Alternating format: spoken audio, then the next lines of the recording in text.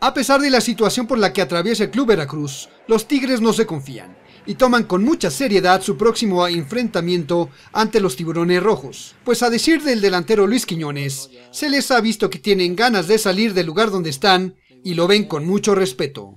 Pensando en el partido, ¿no? sabemos de que un equipo que no se encuentra en una muy buena situación, pero en los últimos partidos han estado muy bien, ¿no? se le ha visto un equipo que, que tiene ganas de salir del lugar donde está, nosotros lo miramos con mucho respeto, ¿no? conscientes de la obligación también que tenemos con nosotros mismos y tratar de hacer un buen partido.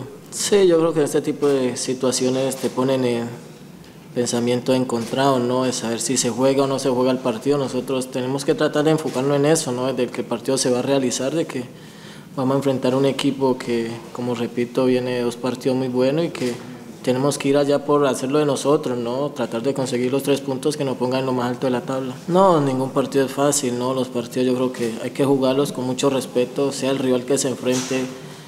Hay que salir con muchas ganas, con mucho deseo y tratar de hacer las cosas muy bien.